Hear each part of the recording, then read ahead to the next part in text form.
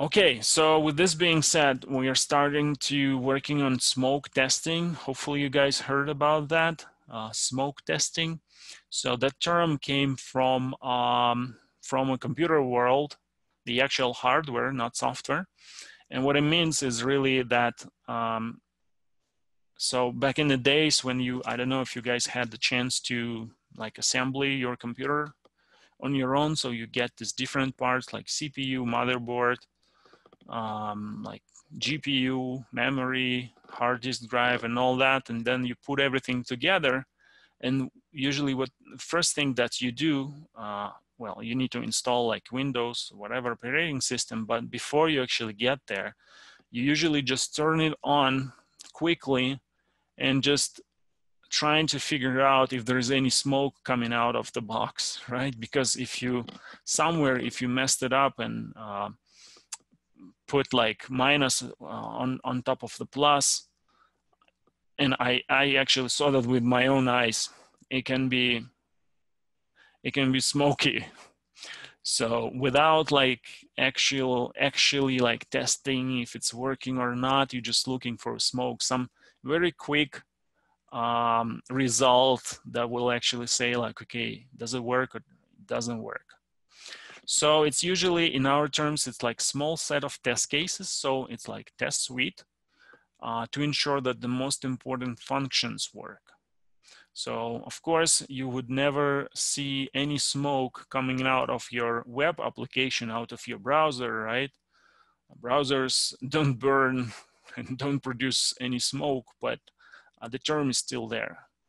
Um, basically, the reason behind is just to make sure that the build is stable. So your application is, uh, you can spend more time testing it. So for example, if login is broken or create um, an account is broken, you cannot even test it. It's like dead, right? So it's it's usually that's why it's usually like P1 critical priority. If something like that is broken, there is no uh, point to to spend any time on it. You need to re return it ASAP and create that defect and ask them developers to fix it immediately, because you basically you kind of will be get paid, but you cannot work really on anything, right? So um, another term for that is called happy path. And why? Because it's usually what um, kind of very positive way of using your application. So something that um, your application is supposed to do. For example, again, login. Most of the users will be logging in for what? To get logged in, really, right? They're not logging in to break the application. They just want to use it as it's supposed to work. If they search for something, they want to get some results back, right? They're not looking for like no results. They they looking for results. So that's why it's called happy path.